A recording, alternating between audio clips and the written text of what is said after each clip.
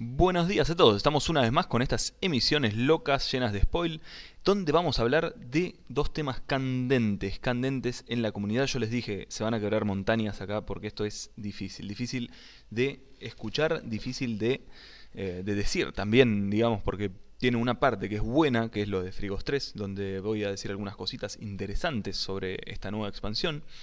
Y también una parte que es bastante complicada, que es el tema de la limitación de armas. Sin ir más lejos, le voy a decir bastante conciso en esto. ¿Cómo es? Frigos 3, vamos a ver, es una expansión dedicada a los niveles 195-200, eh, por lo tanto, los sets que se obtengan en esa zona van a ser también para niveles 195 a 200. Tenemos que acceder a esas mazmorras? ¿Cómo? ¿Cómo? ¿Vamos a poder acceder directamente desde el, día que se abra la expansión?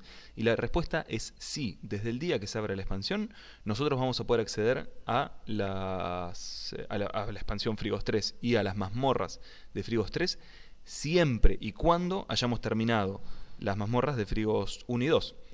Si no, no será posible. Así que les recomiendo en este tiempo que nos queda hasta abril empiecen a terminar todas las mazmorras hasta llegar al final de Frigos 2 y estén listos, listos para entrar al castillo. También hubo mucha gente que me estuvo preguntando si en, este, en esta nueva expansión de Frigos 3 iba a haber un palacio como el que se ve en Koalax, que es, es una casa muy grande. Y la respuesta es no, porque ¿qué es lo que pasa? Esto es el castillo del conde contra atrás. Ustedes se piensan que el conde hubiese permitido que alguien venga y se instale una casa en su castillo? La respuesta es obviamente no.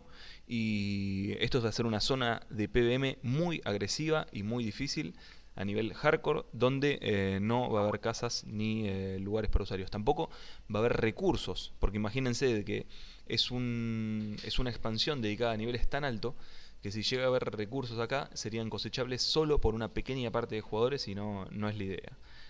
Y algo que es capaz uno de los temas más importantes de Frigos es la obtención del Dofus de los hielos.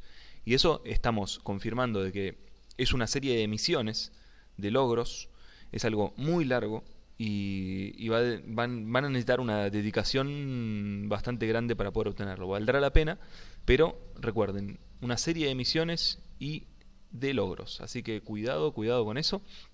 Y ahora, sin más, voy a entrar a lo que es el tema del funcionamiento de las armas, porque quiero revelarlo esto de una vez por todas y eh, decirles que en Frigos 3, en el parche donde se instala Frigos 3, se van a limitar las armas. Porque, ¿qué es lo que pasa? Estuvimos hablando con los desarrolladores y las armas son muy poderosas a alto nivel, nos estaban contando, y eh, malas a bajo de nivel. Y esto no es algo que opinen ellos, sino es algo que se ve dentro del juego y que se ve en las estadísticas del juego.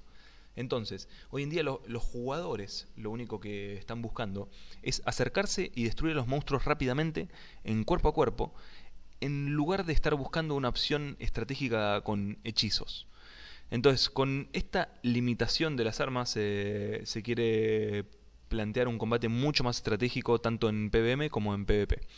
También con esto les voy a especificar cómo, cómo, es que, mm, cómo es que funciona, porque muchos me dirán cómo funciona esta limitación, que de qué depende. Y son limitaciones de usos por turno según la cantidad de PA que cueste el arma. Entonces un arma que cuesta más cantidad de PA va a tener mucha más limitación que un arma que utilice pocos PA. Porque se considera que las armas utilizan pocos PA, deberíamos dejar que los jugadores las utilicen más de una vez por turno.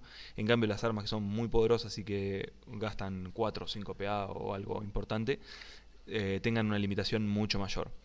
También hay que ver que va a haber equilibrajes o balances en las armas, que hay unas que son más poderosas que otras, así que eso se va a estar revisando también. Y diferentes tipos de arma, como por ejemplo uno me, pregunta, ¿cuál es la diferencia entre un hacha y una espada? Y les digo a nivel de gameplay, no nada de en la realidad. ¿eh? A nivel de gameplay las dos pegan en una casilla, las dos eh, tienen un criterio de condición bastante similar, así que por ejemplo se van a empezar a, a, hacer diferencias entre ese tipo de armas que hoy en día son iguales, digamos, y no tiene mucha jugabilidad, no, no cambia mucho el gameplay. También vamos a seguir acá, a ver que tengo todo anotado, ¿eh? no me quería olvidar de nada. Eh, ¿Qué, pasaba? Eh, yo les digo en una primera instancia a los desarrolladores, estamos intentando motivar a los jugadores para que terminen Frigos 1 y 2 y ahora no les da un poco de miedo de que, eh, de que sea más difícil terminar estos dos episodios de Frigos 1 y 2 con esta limitación y encima le agregamos el nerf del mes pasado que fue bastante complicado, ¿no? Y me dicen sí, eh, será más largo, será más largo esto de terminar los episodios unidos de Frigos. Eh, pero ellos van a aplicar un nerfeo, una reducción de la vitalidad de los monstruos, los monstruos nivel 100 más, para compensar esta limitación de armas. Y también había otra pregunta que era, era bastante capaz, eh, capaz ardiente, digamos, para los desarrolladores, era ¿qué pasa con las clases support? Que dependían de las armas. Por ejemplo, vamos a poner el caso de una Niripsa. Una Enripsa no tiene hechizos que puedan hacer daño eh, verdadero, digamos, un daño fuerte eh, que le permita valerse por sí mismo sin armas. Entonces, eh, tenemos que tomar conciencia de que un personaje de soporte nunca va a pegar tanto como un damage dealer. Son dos roles diferentes y se quieren reforzar estos dos roles. O sea, una Enripsa, por ejemplo, que sea tenga un rol de curador mucho más acentuado y un Shopuka que tenga un, rol de damage dealer también mucho más acentuado. Y ese es el, es el típico caso de estas dos clases. Se refuerza el rol de un lado de la Niripsa porque como sanador eh, va al, haber una limitación en las clases, esta clase de personajes eh, que, es un, que es un sanador va a poder curar mucho más efectivamente, porque no le van a poder ocasionar a sus aliados daños tan masivos con armas, por ejemplo, ¿no? Y por otro lado, los personajes Damas, Damas Dealer van a, van a seguir teniendo un potencial ofensivo bastante importante sin eh, sobrepasar lo que son las líneas que queremos, que queremos limitar con este tipo de cosas. ¿no? Queremos que las personas dejen de confiar y de depender tanto de las armas y busquen un sistema de juego con los hechizos mucho más rico en estrategia. Así que con ese tipo de cosas va a haber eh, un artículo de The Blog que se va a publicar muy pronto y que van a tener todos disponibles. Y antes de terminar, les voy a decir eh, que sobre lo que dijimos de que habrá equilibrajes eh, con respecto a las armas, no se preocupen los forjamagos, porque se van a equilibrar cosas como por ejemplo lo que son los, eh, los golpes críticos o los daños críticos o, cosas que ustedes no pueden forjamagear. Así que no se preocupen que no les van a tocar eso, no les van a, destruir sus, sus cosas forjamageadas. Así que no se preocupen por ese lado. Ahora lo que voy a hacer es con esto, lo voy a subir ahí en el canal, en la noticia principal de Dofus. Y luego voy a subir eh, una versión especial que va a ser la que vamos a tener en una conferencia que se va a dar lugar en el TeamSpeak, como cada tanto lo anuncio en dofus.com. Dale, un saludo para todos y espero que, eh, bueno, espero que no me incendien el YouTube con esto.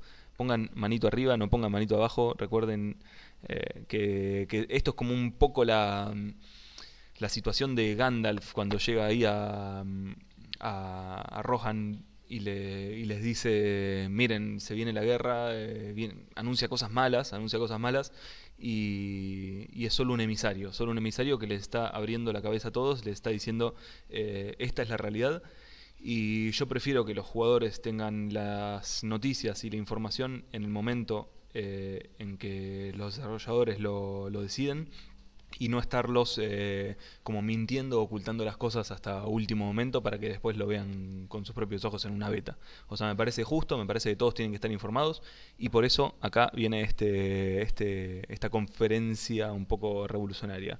No me incendien en el Facebook, no me incendien el YouTube y un saludo para todos. Dale. Chau, chau.